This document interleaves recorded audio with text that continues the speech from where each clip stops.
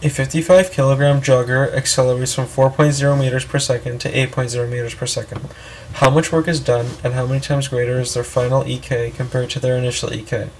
As we can see in the picture, the 55 kilogram jogger at an initial velocity of 4.0 meters per second is accelerating to a final velocity of 8.0 meters per second.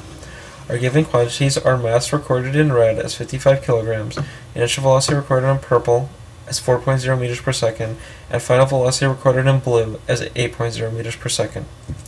To find the amount of work done, we must take the final EK and subtract the initial EK from it.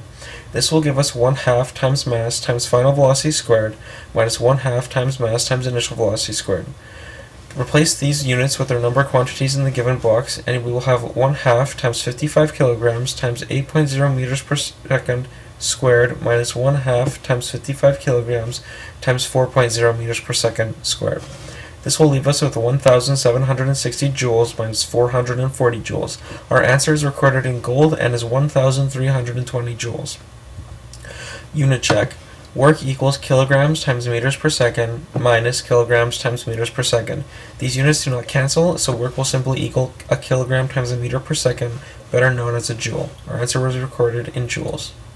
To find how many times larger the final EK is than the initial EK, we must simply divide the final EK by the initial EK. We will have 1,760 joules divided by 440 joules, which will equal 4 times larger. So the final EK is 4 times larger than the initial EK. The joules cancel, and no unit check is needed.